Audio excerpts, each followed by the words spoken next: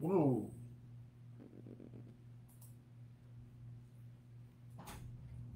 Do you see that you have several people?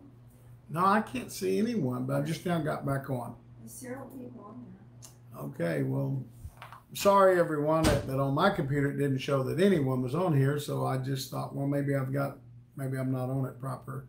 So I hung it up and I stopped and started all over again. Mr. Smith said there was plenty of you on there. I don't know why that's not showing on my computer, and I don't necessarily know how to to um, to do that. I mean, I don't know how to see anyone's on there. Right now, I show there's two viewers on there. So, and maybe it's just people now getting back on. But I can see in the comment section. So if you comment, there's Brother Scott's on there, I see. So maybe now I'm going to be able to see whoever's getting on here. All right. Anyway, sorry for the confusion. Uh, first off, I just want to welcome everyone here. And um, um, I want to mention uh, this this Saturday we have a work day planned for the church, and um, Brother Painter is saying if maybe we can have um, several of the sisters come because we haven't had very much deep cleaning in the church for a long time. If the sisters could come, and then we're going to have a group of men working at uh, Brother Weaver's house. We're trying to get that house for them to move back in it. So if uh, I guess if everyone would meet at the church, then we'll get someone to lead them over to Brother Brother uh, Brother Weaver's house. Uh, we need some help over there, and we're going to work while it's cool. So if we can get meet at the church at eight o'clock, we can get started while it's cool because at Brother Weaver's house you know, probably no later than noon, probably we'll have to wind up that day over there. So if I can get a group of men to come and be over there, sat, be there Saturday morning, we can get this done and, and maybe we can get closer to getting the Weavers in their home. Excuse me. All right, thank you. Um, so I wanted to announce that. Of course, we will have church Sunday morning um, Bible study, breakfast at 9.30, Bible study at 10 like normal, and then band practice at 11, and church at 11.30. Um, I do want to mention and ask everyone to please pray for Brother Mark Boyd and Sister uh, Boyd and Ethan. Brother Mark's dad passed away, of course, and the funeral is um, tomorrow morning at 10 o'clock in Springfield. So please pray for that family, especially Brother Mark Boyd and his family, but of course also his brothers and sisters and his mother. Of course, it's very devastating when you lose a, a someone like the father of the family. So please be praying for that uh, for that family. All right. Um, might say something to you a little bit here tonight about um, maybe something about our our existence. Um, you know, the Bible says in um, the 13th chapter of Revelations, in the 8th verse, it says that um, Jesus was the lamb slain before the foundation of the world. And of course, that does not mean that Jesus was he wasn't slain before the world ever existed. It just means that that that was already decided in God's plan before the world was even created that that Jesus would come to this world and be the lamb slain. He would be our he would die on the cross for all of us and he would come to this earth and become a human so that he could be a faithful high priest. That was in God's plan before he ever created anything, even before he created Jesus. Um, you know, I'm gonna I'm gonna do more study on it, but we used, you know, most men in the body taught at one time that G, that Adam was the foundation of the world. One time I was on my feet and I knew that and I even taught it because it's what I'd heard. But one time I was on my feet and I really had a good anointing and a good covering and just jumped out of my mouth that Jesus was the foundation of the world. And ever since that, I have felt like that it was possibly the Holy Ghost that spoke that through me, that he everything was built on Christ.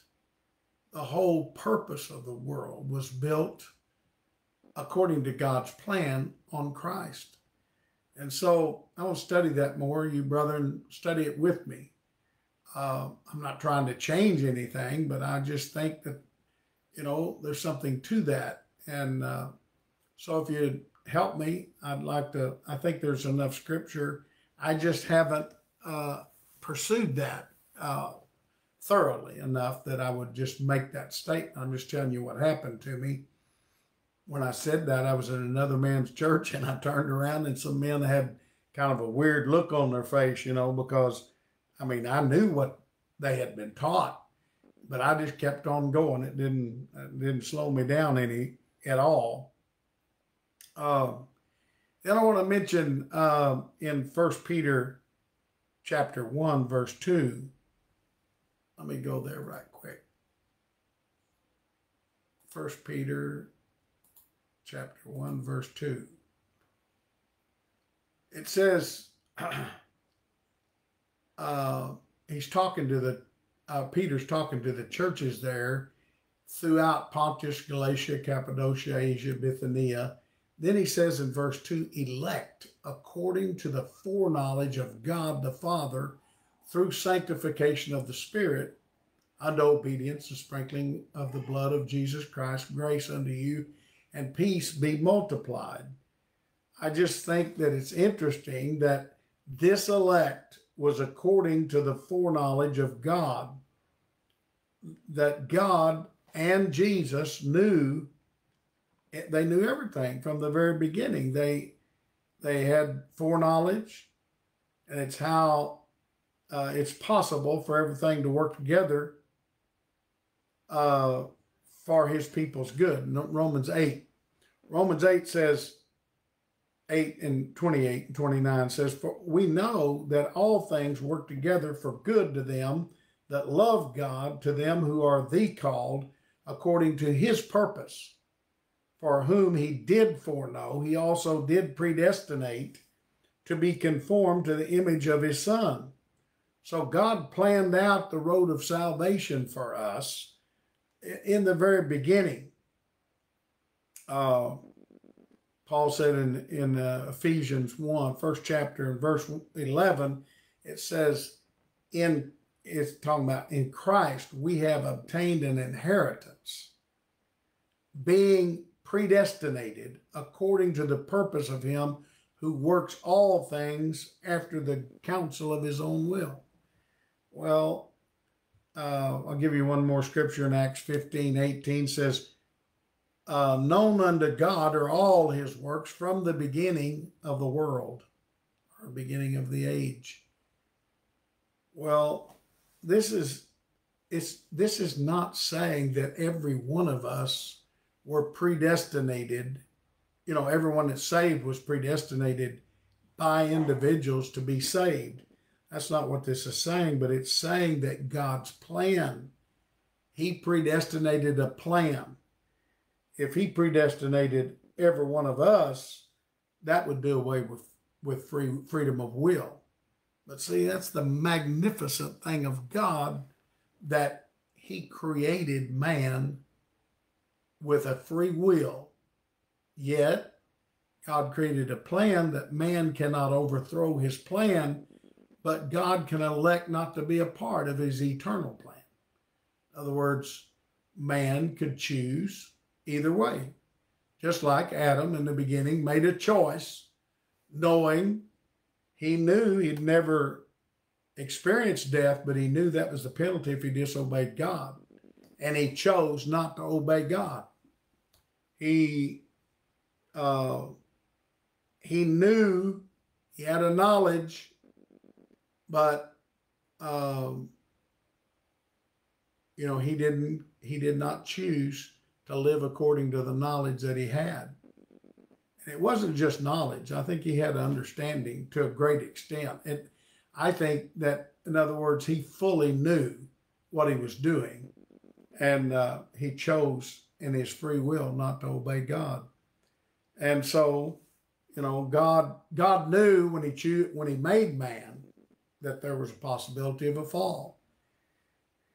Doesn't mean that Adam would have had to fall, uh, although uh, you know one of the things you almost have to give over concerning God, concerning trying to understand God, is that He knew everything.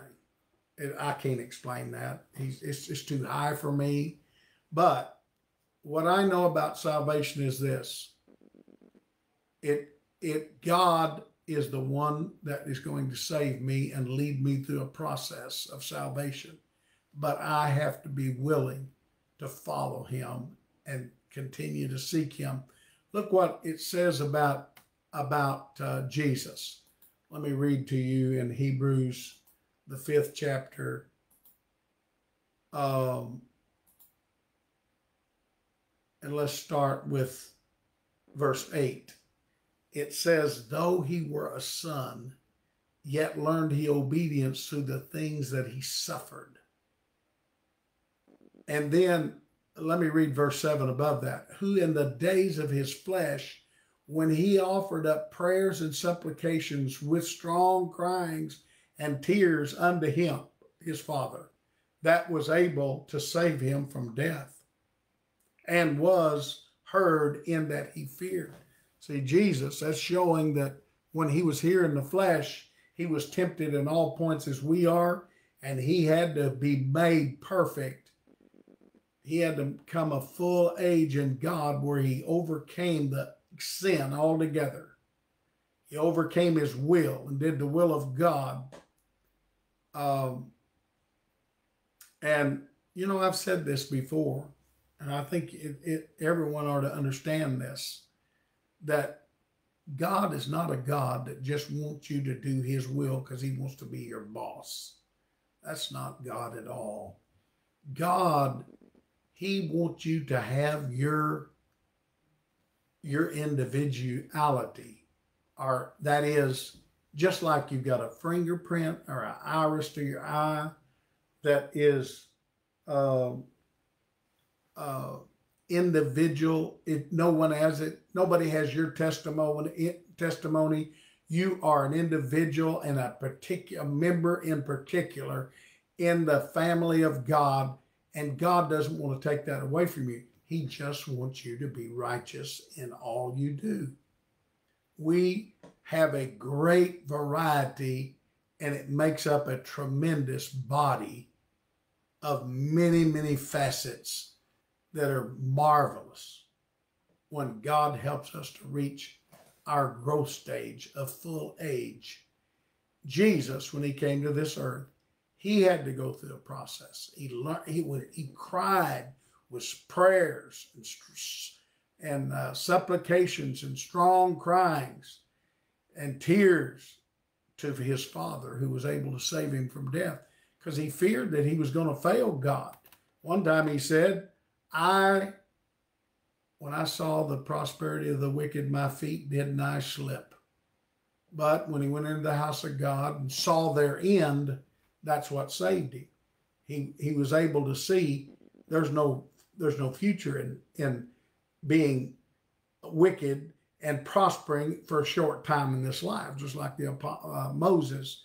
He he uh, rather than to uh, have pleasure in sin for a season, he chose to be with the people of God.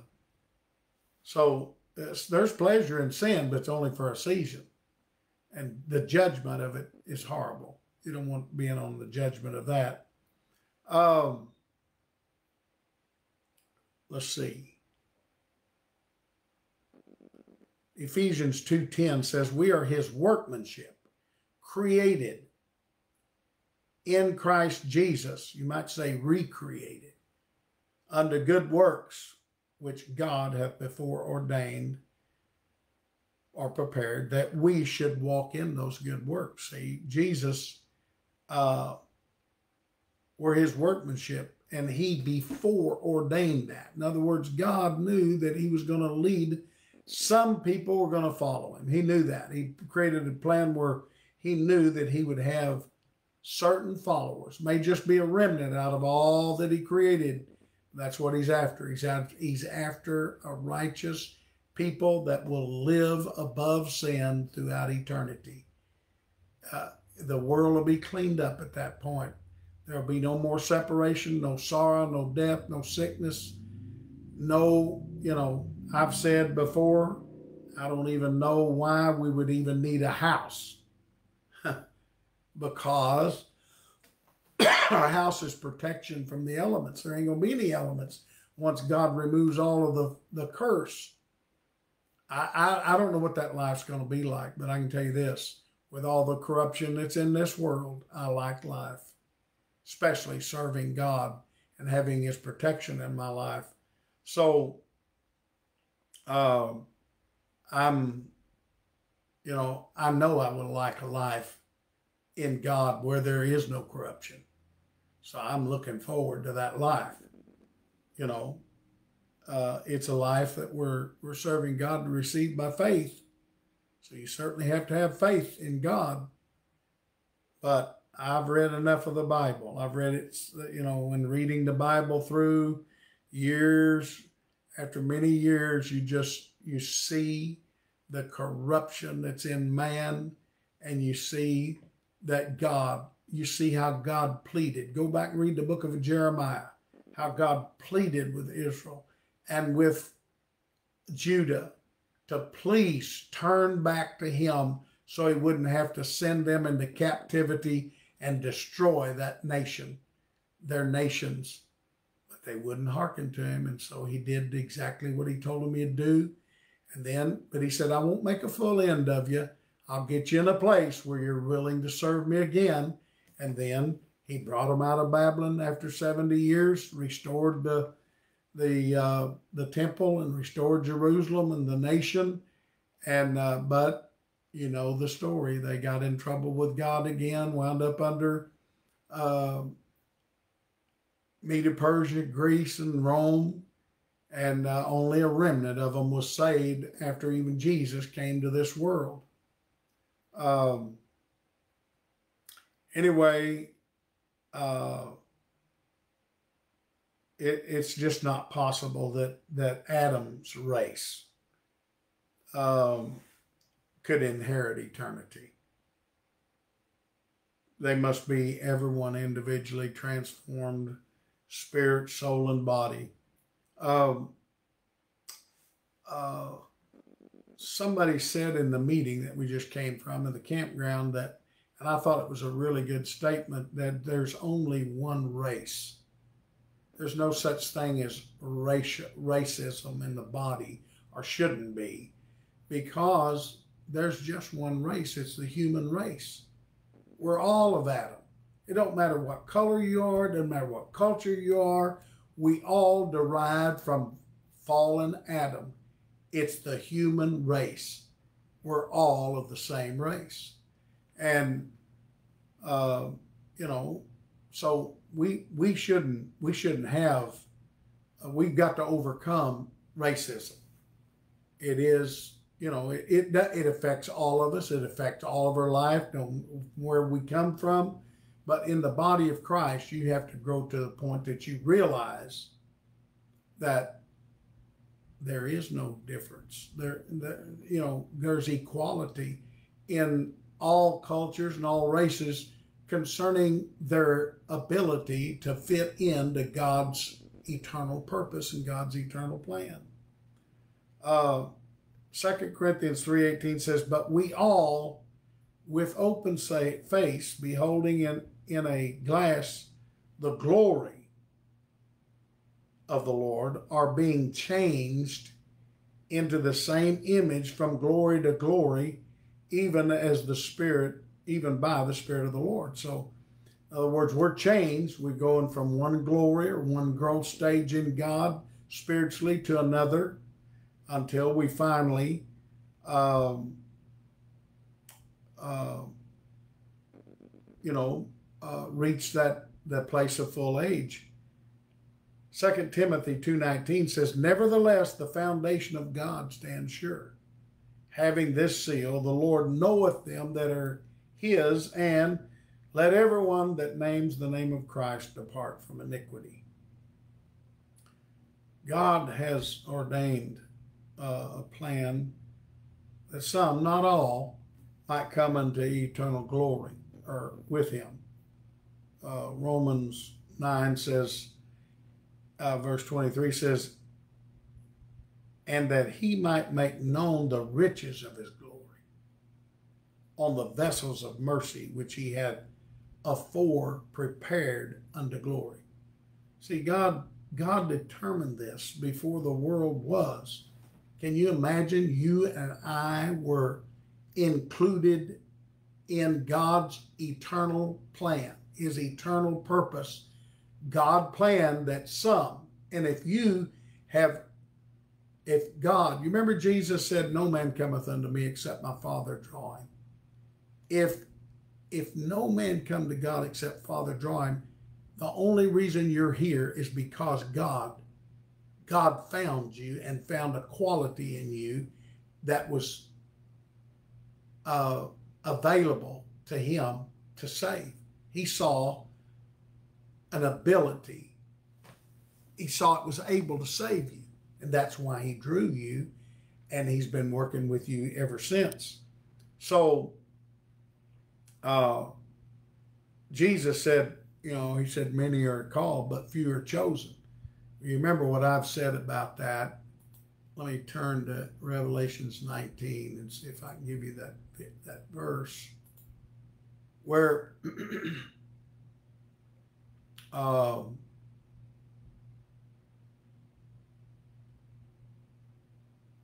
me see if I can get this.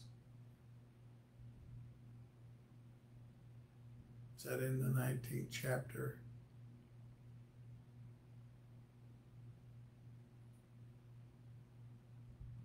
that those that were with Jesus were, uh, you know, he came on a white horse. And those that were with him were the called, chosen, and faithful. Well, I've always said that this way. I've said that um, uh, that when you're called is when God starts dealing with you, when He starts wooing you. God's calling you, He's calling you to His plan. And then when you yield over to God and you say, Yes, Lord, I want to be saved by you. I want to be a part of your plan. I want to be a part of your kingdom. I need help. I know that. I need you. I feel you wooing me. I feel you calling me. And I'm my answer is yes, I will obey you. I will serve you. I'll turn my life over to you. I'm yielding over to you. You're the creator. I needed, I've always needed to follow you. I want to know more about you. When you do that, you are chosen of God. When you say yes, God says, I choose you. I'm calling you. I'm asking you to make the right decision. When you do, he, he chooses you. And then as long as you keep doing that, you are faithful. And if you'll be faithful to the end, you know, if you'll serve him to the end, uh, you'll you'll make it. You'll be made righteous.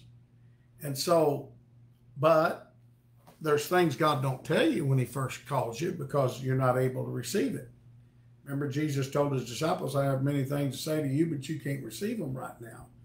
Well, um, uh, but and and as you serve God, things will happen that put you in a crossroads. Am I going to go on with God? Am I going to be faithful, continue to serve Him, or am I going to say no? This is where I get off. See, once you say no to the Lord, you're no longer chosen. You go back to being called. you're his child, he will never leave you or forsake you and never quit calling you back. But he won't make you serve him. He's got a right. You're his child, so he can he can chastise you, he can spank you, he can, just like he did Israel. Israel went through way more than the rest of the world went through because God was trying to save them. They were his chosen, his elect. You're his chosen, you're his elect. So he's going to try to save you. You're his child. He's got a right as a father to try to chastise you, correct you, do whatever he has to do to save you.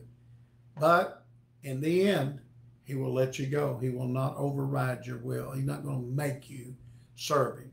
He may make you give in some, but ultimately, God is not going to force you to be righteous. He can't because he gives you a free will. And so, um, but if you say it went, if you'll say yes every time you hit that place of crossroads, he will, you will remain faithful and you, you'll remain his chosen and faithful person. So, so when you're born, you know, into this world, it's not determined whether or not you're going to be a, a sheep or a goat. Uh, uh, the, the wicked are going to be gathered of God, and the and the wicked are going to be ultimately they'll be destroyed. Proverbs six fourteen says, "The Lord hath made all things for Himself, yea, even the wicked for the day of evil." See, God created man that some men's going to turn away from God be evil. God created that for the day of evil because there's a, a day of evil and judgment that's taking place. This world's corrupt and there's a lot of evil people in it. God created them, either part of God's nature, God's creation, and um, uh, so so God's got this eternal plan. Uh, it says, if Revelations 4.11 said, Thou art worthy, O Lord, to receive glory and honor and power, for thou hast created all things, and for thy pleasure they are and were created. Paul said, and uh, again, and I mentioned in in uh, Romans eight twenty nine, he said, uh, he also did predestinate us to be conformed to the image of his Son. It's his plan that has been predestinated, not which uh, not that people have been, well, that people have been predestinated for life or death. In other words, if you fit into God's plan, you do His will, He has, it's been predestinated that He would take you, as long as you be faithful, He'll take you all the way, all the way to be conformed to the image of His dear Son. If you turn away from God, He predestinated that in, ultimately a person would be destroyed. Uh, it's the plan. In other words, it's been predestinated, uh, not which ones have been predestinated to life or death. Um, let's see what else I want to say here in Isaiah. Uh, Isaiah 46, 9 and 10 says, Remember the former things of old for I am God and there is none else. I am God and there is none like me, declaring the end from the beginning, and from ancient times the things that are not yet done, saying, My counsel shall stand, and I will do all my pleasure. See, God says over and over, He lets it be known how it's going to come out. God's plan is going to be fulfilled. A person can be a part of God's temporary plan. You know, we've always said, like we've said, uh, uh, that in this building, sometimes we have a, we're, you know, like when you're building a natural building, you have an old board that's crooked. And, uh, you know, in the body, if we use that scenario, well, we call that old crook. That's a person that comes in. They're they're not they they just won't do right. But they help. maybe they pay their tithes, they come to work days, they help build, they don't cause trouble too much, but they're they're in on the building project. But we never found out, figured out where to put them in the building because they can't become a permanent part. That's old crook. I've had several old crooks in my ministry. But sometimes you take an old crook and you can trim that old crooked board down, you get all the crookedness out of it and find out what's left and cut that down and find a place where it fits in the building and it can be a part of the building, the everlasting plan of God. So, uh, I don't want to be an old crook, but if I've been one, well, I'm hanging around till God gets me trimmed down where I'm going to fit somewhere. I hope I already do. Um,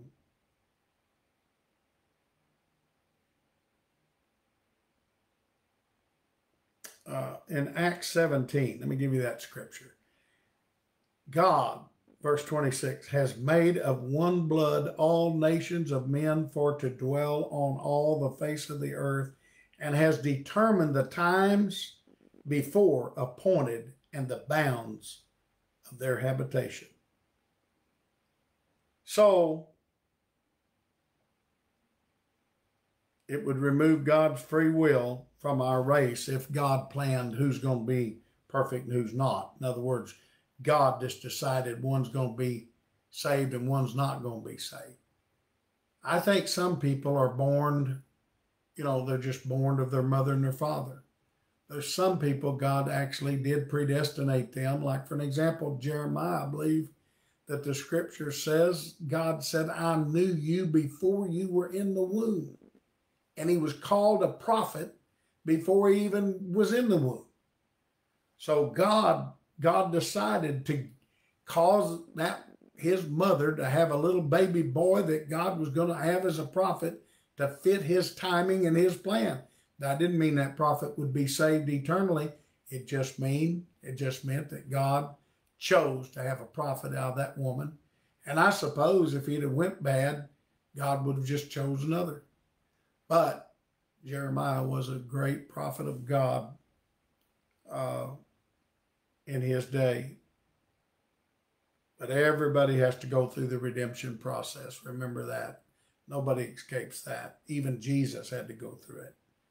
Second Thessalonians 2.13, but we ought always to thank God for you, brothers, loved by the Lord, because from the beginning God chose you to be saved through the sanctifying work of the Spirit and through the belief in truth.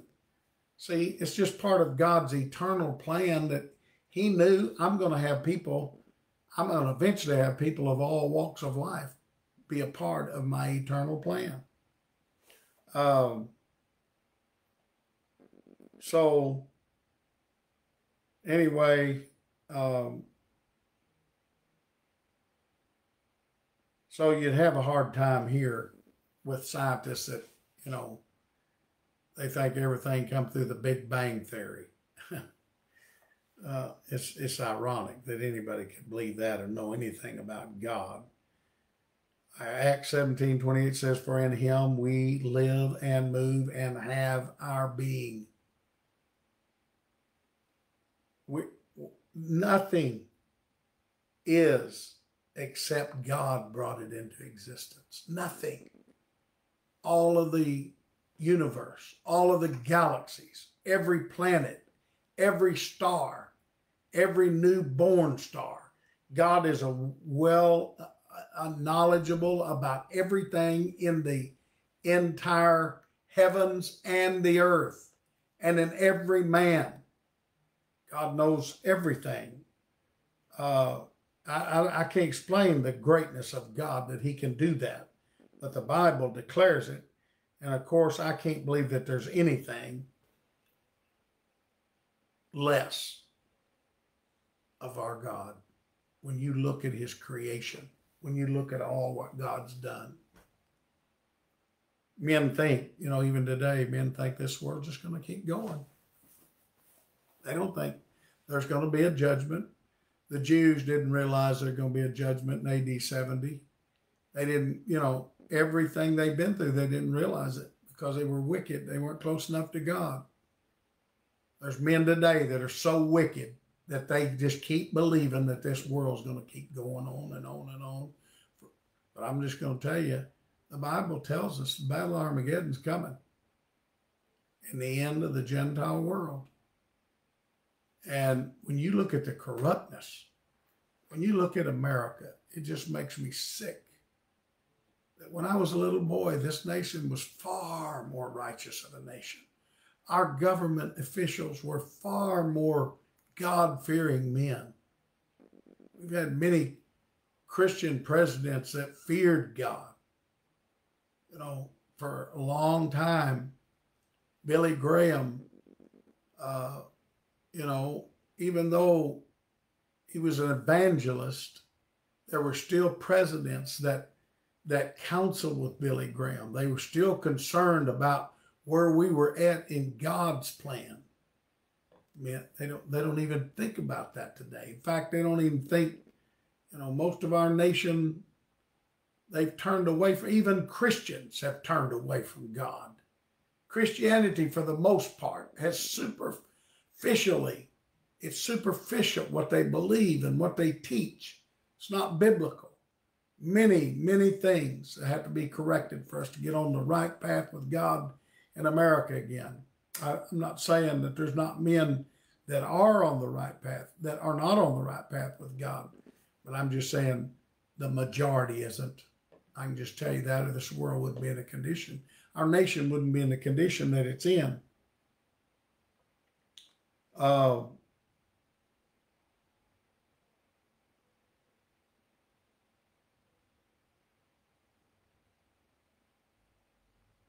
let me look in Psalms 139. It begins with, O Lord, you have searched me and known me. It concludes in verse 23 Search me, O God, know my heart in verses 7 through 12, it says, Where can I go from your spirit? Where can I flee from your presence? If I ascend into heaven, you're there. If I make my bed in hell or the grave, behold, you're there. If I take the wings of the morning and dwell in the uttermost parts of the sea or the world, even there your hand will lead me, and your right hand will hold me. If I say, Surely the darkness shall hide me, even the night shall be light unto me. See, if you're a child of God, you can't get away from him. Indeed, the darkness shall not hide from you, but the night shines as the day, and the darkness as the light, are both alike to you. Uh, verse 13 through 17 says, You formed my inward parts.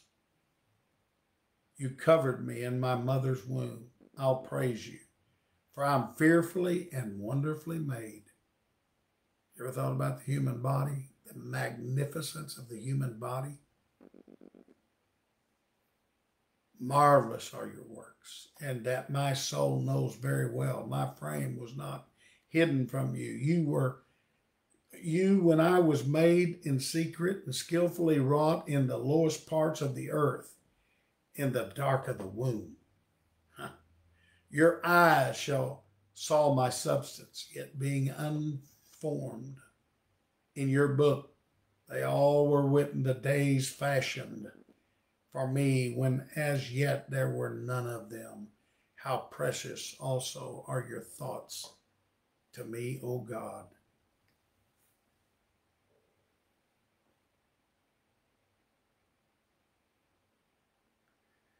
Job 12 says, verse 10, In whose hand is the soul of every living thing and the breath of all mankind. Psalm 66 9 says, God keeps our soul among the living and does not allow our feet to be moved. Luke 20 38, For he's not the God of the dead, but of the living, for all live to him. That is, all of his children. Luke 28, 38, for he is not the God of the dead, but the living, for all live to him. John 5, 26, For as the Father has life in himself, so he granted the Son to have life in himself. Colossians 2 9 says, For in Christ all the fullness of the of, of the deity really exists. So in him is the fullness of the Godhead bodily. God dwelt in him, God gave him life unto himself. The universe, as I said, was accomplished by the Son of God. Christ is the one who God created everything. That's in Colossians 1. So, um, 1 Timothy 6.15, the King of kings and the Lord of lords who alone can never die, who lives in light so terrible that no human being can approach him. No mere man can ever live him, nor ever will, ever, ever see him. No man has ever seen him, nor ever will. That's a different translation, but it makes it plain. John 11, 25 says, I'm the resurrection and the life. He that believeth in me, though he were dead, yet shall he live. Anyway, I just thought I would mention these things about the about God's predestined plan, God's eternal purpose, God's eternal plan. Created it for his own will. Uh, don't you know God's looking forward to having a righteous family? throughout eternity. Don't you know God?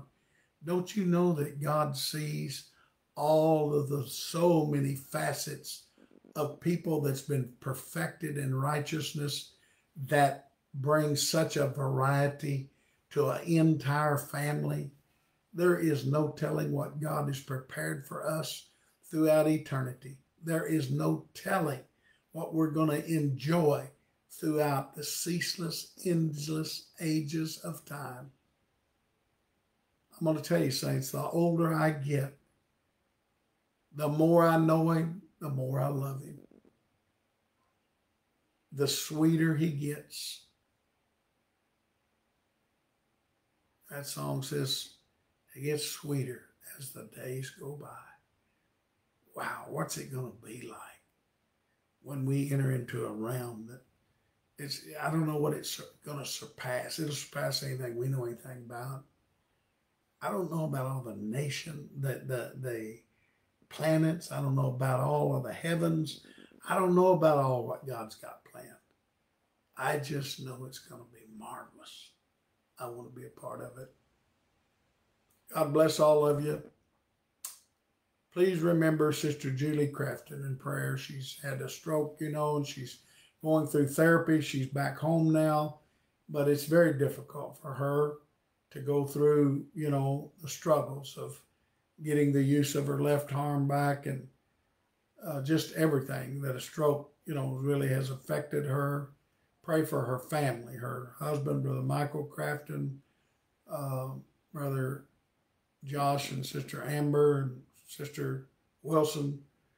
Um, pray for uh, Joe, uh, their other son, Joe Lacey, uh, sister Ruth, and uh, uh, brother sister Durham's daughter, Joe, sister Lacey's son. Pray for that family. Pray for brother Ray Weaver. We're trying our best to get their home where we can get them back, move back into it. Pray for Sister Holly. She's been so gracious to let them live in her home now, going on two months while we're trying to get this house that caught on fire and burnt part of it. And we're trying to get it livable again for them. So pray for the brethren this Saturday. We got a crew working, trying to get them, uh, get the church, I mean, their house back in a, a livable condition. Pray for us that God will give us favor to get that done. They need a lot of prayer. Brother Bill Daniels, he's got a condition in his body where he just keeps taking on fluid and congestive heart failure. He's got a real low point of B12 in his body for some reason. I'm praying that God will heal him completely. I need Bill Daniels in my church. He's a great man of God. I need all the men of God that God's given us. God needs them. I, I, you know, I, I say I need them, but I do feel a great need for them. They're part of our makeup in the Little Rock Church.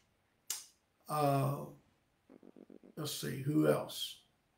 Sister Cindy, my daughter-in-law, Michael and Cindy's Cindy's mother, Sister Angie Elder. Pray for her that God would touch her. Uh, Michael and Cindy have her right now in their home and are trying to help her through this time and in her life. Pray that God will help them and that God will touch her body. You know, you don't have to get sick to die. You can just live up till you get to whenever God's ready to take you. You just go to sleep in your sleep. So, what'd be wrong with that? I don't necessarily want to get sick to die. I'll just live till God gets ready to let me go to sleep. Wouldn't that be wonderful? That's what we all would like to have. But sometimes, you know, Brother Liniger used to teach that we have to go through a fire sometimes in the end of our life. God has to take us through that a purging that that helps us, prepares us for the best resurrection we can get. Uh, I'm hoping God will help me get prepared for that, that I won't need too much fire. God help me, you know, I'd like to serve God out of a willingness, not not not God having to have to prod me along. Uh, let's see, who else in our church needs prayer? Sister Wilson needs prayer. I mentioned her. Uh, let's see, just you know, pray for our church and the needs. Pray for Brother Bud's works. Uh, for the most part, they're doing well, but we do need, you know, we need God to continue to help them. Anytime a great man and leader dies, it it it causes confusion and trouble, and and uh, so pray for Nacogdoches and Sebastopol and Brownsville, and then the works there in South Texas Mission and uh, also the works in Mexico, all of them. Uh, Bravo. Uh, Brother Rodriguez has got a work in Matamoros and Reynosa. And, and then there's works in Monterrey and down Brother Memo Cano and Veracruz and, and Tampico. And uh, just help them pray I mean, help us pray for those works. When I something happens to me, I want y'all to be praying for the works that I'm those that I'm trying to help in the gospel because they're worthy of it. They've received this. Pray for the Dominican Republic. Brother Emilio Green, he needs your prayers. Brother Elias Ciprian, Brother Calderon. Those are three leading men over there. Brother Rudy and Brother Jackson. Brother Sinane, Brother Francisco. Those are pastors that we have over there, Brother Israel. All right. God bless your hearts. I love all of you. Uh, I'll see you Sunday. And uh, let's see.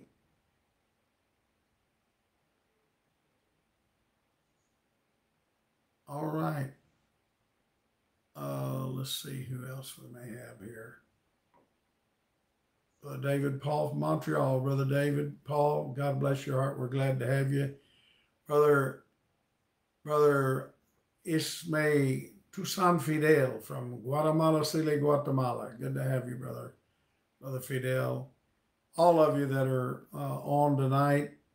I, I can't see everybody uh, because it's just the way that my, I, if there's a way to see it, I'd have to I guess Sister Ruth Ruth Calderon, she's on here from the Dominican Republic. God bless you, Sister Ruth Esther. It's good to we're glad to have you, Brother Painter's on. Uh, most of our saints, I'm sure, are on. So, anyway, God bless your hearts. Have a good night. Pray for me, and I'll pray for you.